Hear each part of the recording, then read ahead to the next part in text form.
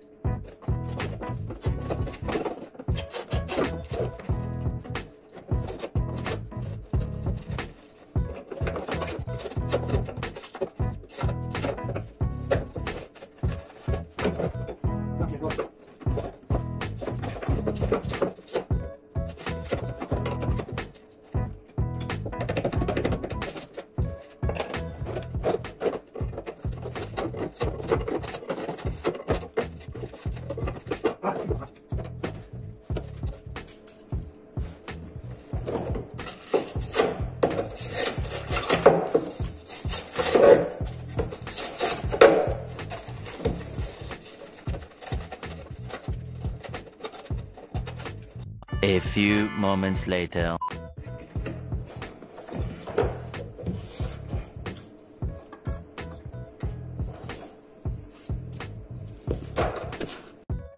No, ktoś nie żałował towaru, wyciągnąłem wszystko, całą pianeczkę. No i zobaczcie jak to tu wygląda. To zaraz, zaraz będę wycinał, bo to jest jeszcze chory metal. Ale gdyby nie to, to tam zobaczcie te profile zamknięte. To to całkiem taka zdrowa blacha, tu tylko taka powierzchowna korozja. Wystabilizować. To się poczyści, ale tam góra wszystko jest luks, nie? Tak więc to pociąć, pociąć wyczyścić, no i dzisiaj, dzisiaj jeszcze spróbuję zrobić łateczkę i trzeba będzie szpawać, no. Nie ma co płakać, tylko się brać za robotę, tak? Jeśli człowiek podjął ratowania gruza, no to trzeba robić. No nic trzeba posprzątać i, i majstrujemy. Oczywiście bez niespodzianek nie mogło się obejść. Im dalej w las, tym więcej drzew, tak? Chwila, tylko lampkę. O, tutaj wyszła dziura w podłodze w tym miejscu. Ale to jest bez tragedii, bo ja to zaraz tu sobie dorobię. Ur. Kątowniczek sobie tu teraz taki pociągnę. myk, to wy, wy, wyszlifuje wszystko do zera i gitara. To jest mocowanie wahacza, ale to jest całe. Tutaj wszystko ładnie się trzyma, tylko w tym miejscu, no dziursko nie wiem, kurde, dlaczego tak tu wyżarło akurat w tym dziwnym miejscu. Ale zaraz, zaraz to i będzie luks. Dobra, zobaczcie. Widzicie to dziursko tutaj, nie? To tak. No jest tutaj to dziursko, tak to wyszło, się tu wyszlifuje ładnie dookoła. Tu jest to moc mocowanie wahacza do budy. Tylko, że tutaj to siłowo nie przynosi. Tu największa siła idzie na, yy, na tamtą poduszkę. Tu jest tylko mocowanie. To jest, to jest zdrowe. Tu ten kawałek podłogi jest bardzo zdrowy, bo tam dalej idzie takie oryginalne wzmocnienie. To wchodzi nam wzdłuż podłogi. No ale niestety tutaj wyżarło te, te łączenie. I zrobimy teraz coś takiego. O. Takie wzmocnienie jeszcze lepsze. O.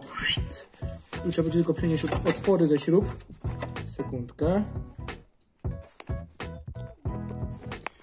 O. Taka łata tu będzie fajna. Tak więc zakryje mi tu całą tą dziurę. Tam jeszcze oczywiście zabezpieczę wcześniej antykorozyjnie. Przyniosę otwory. A potem to będzie idealnie na tym. Tam milimetr różnicy wysokości mu tu nie zrobi, bo tu żadna geometria się nie zmienia w tym momencie. I będzie luksus. I do tego potem będzie tu do czego spawać próg, tak? Bo tu ten próg potem trzeba podwinąć. Przyspawać i potem podwinąć. I tu na końcu te, te wzmocnienie. Więc będzie luksus. Zanim, zanim potnę na wymiar i przyspawam próg, należy, należy, muszę go przygotować. Mianowicie oryginalnie jest takie coś, to resztki podłogi, to właśnie to odpadło od tego progu. I muszę w tym momencie wyciąć delikatnie tu taki mały otwór, po to, żeby mi to tam weszło. Bo musimy teraz elegancko to obspawać dookoła, ponieważ to jest główny element siłowy, za który nam tu podnosi podnośnik samochód. Natomiast od tej strony już w samochodzie będzie takie wzmocnienie. No to jest tam fabrycznie, to wygniło, ale ja je właśnie dzisiaj będę dorabiać, tak więc... Tak więc dzisiaj szpawańsko. Odciąłem sobie w końcu tyle progu, ile potrzebowałem. Wcześniej dospawałem tutaj te oryginalne mocowanie. Nie śmiejcie się do jak wspominałem. Uczę się, panie, uczę się. A więc smarki są, że tak powiem, na porządku dziennym w tym momencie. Ale o! Ale o! Tutaj, tak jak było widać wcześniej, wygniło tu całe to mocowanie i progu i wszystkiego. I teraz tutaj jest dospawana łata, żeby było do czego w ogóle złapać próg, tak? Ten dół, żeby to potem szło zawinąć. Od spodu już mocowanie jest, tam sobie musiałem obkleić dookoła, żeby przewodów paliwowych nie ten, nie, nie rozpieprzyć. I w tym jeszcze miejscu przyjdzie mi... O, taki karton, na razie zrobię model kartonowy. Takie mocow... spornik, bo tu teoretycznie powinno być no, blacha oryginalnie, no ale to jak widać no nie istnieje, wygniło to w pizdu. I to w tym miejscu będzie na lewar. Na lewarek w tym miejscu będzie i musi być to wzmocnione. Ale kurczę, powoli, powoli widać już światełko w tunelu. Jest to ostatnia taka gruba robota blacharska przy tym samochodzie. O, jest i prożek. Zaraz powinien być w samochodzie, czy zaraz? No pierwszy jeszcze te wzmocnienie zrobię, zaraz z blachy to powycinam i kurde, cieszy mnie to, że powoli zamykam temat. Naprawdę, ciul czasu tu spędziłem przy tym aucie. Haha! Nie no, a tak serio to niestety jeszcze nie jest to przyspawane, ale zobaczcie, coraz bliżej końca.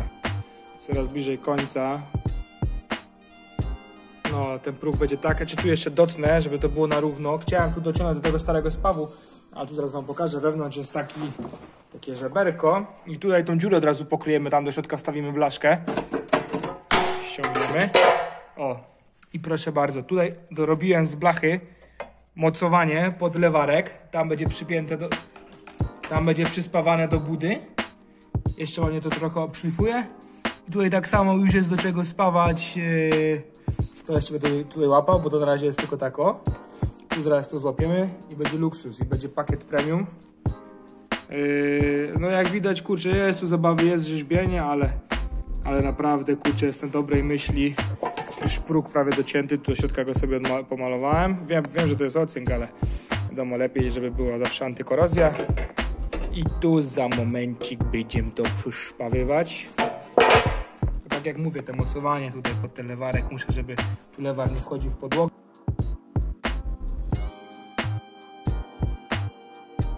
Prace posuwają się naprzód, ale kurde nastąpiła... A światełko trochę zmienię. Nastąpiła pewna zmiana koncepcji tak jakby w zrobieniu tej roboty. E, mianowicie tak, dostałem takie specjalistyczny sprzęt, dostałem taki, o, urządzonko, dziurkownica. I dowiedziałem się, nawet nie wiedziałem, że zgodnie ze sztuką, jak się stawia próg, wstawimy sobie, o, i tu dziurka co parę centymetrów i potem z pawareczką ciach, ciach, ciach je to nadlewa. Nie będę musiał w tym rogu tam rzeźbić. Tam teraz też dospawam łateczkę i będzie elegancko. I myślę, że to jest spoko metoda, o której naprawdę nie wiedziałem. Nie myślę, że będzie gitarka. Myślę, że będzie git. Więc lecimy dalej, dziurkujemy i szpawamy dzisiaj. Tu wczoraj zakonserwowałem to, tu zaraz jeszcze wleci silikon. Silikon, no taki silant, uszczelniacz do spawów. Kurczę, będzie lepiej jak fabryka. Zobaczcie. Pamiętacie jakie było dziursko? Jaka to była dziura? Wszystko pięknie zaspawane, zamalowane, zabezpieczone i zaklejone masą uszczelniającą. To już można zerwać stąd, ale do dozora. I tutaj tak samo. Prożek. Zaszpachlowałem go już e, szpachlówą z włókien szklanym, żeby mi się tam woda nie lała do progu. Już jest uszczelniony, tutaj tak samo. Kurde, zadowolony jestem. Pamiętacie jakie tu dziursko było? Ile tutaj było, kurde. Żeby was nie skłamać, tak, bo ja wiecie, nie, nie, nie siedzę codziennie przy tym samochodzie. Z dobre trzy tygodnie się pierdzieliłem z tym progiem. Tak od wycięcia, nie? Znaczy tak popołudniami po prostu grzebając. No ale uczę się dopiero, tak więc myślę, że jest gitareczka. Zaraz palimy dziada. Palimy dziada, jedziemy ją umyć. Upalać może jeszcze nie będę, bo oliwę muszę zmienić. Ale w końcu będzie pojeżdżone. Nie było wiązki, nie było migacza i co jest? Proszę ja was. Jak to mawiał największy raper trzeciej RP, z tego nic nie będzie, choć powstanie.